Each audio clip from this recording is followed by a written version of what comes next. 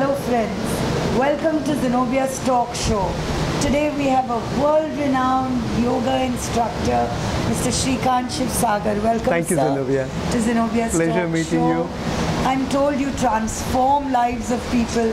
How did yoga come into being in your life? Zenobia, it was like, uh, this was 1980s when uh, we get into, uh, uh, we uh, basically I belong to Nagpur and uh, Swamiji, uh, that ashram was just across the road.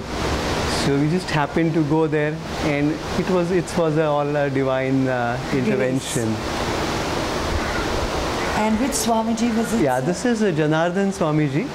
Uh, he was a Who uh, brought yoga into your life. into my life and uh, a wonderful man uh, a man of lot of siddhis lot of uh, thing but um, he narrowed down into yoga he had the jyotish shastra he And had a wonderful school of yoga? yeah this was uh, he had uh, practiced from different schools but um, he uh, in central india janardhan swamiji was one of the pioneers of And things any yoga And- institutes in Bombay you're associated with? after that, uh, I uh, did my teacher's training course from uh, Bihar School of Yoga. Oh, wonderful. And then uh, I went on to do my advanced teacher's training course from uh, Kaivalya Dham, Lonavala.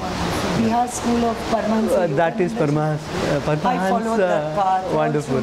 Yeah, yeah. This is the Munger one, Munger ashram, and uh, the Munger and the Rikhiya one also. Wonderful. That's the you know uh, you can call uh, Bihar School and uh, Kaivalya Dham as IITs and IIMs of yoga. You said it, sir. Not a better way to explain.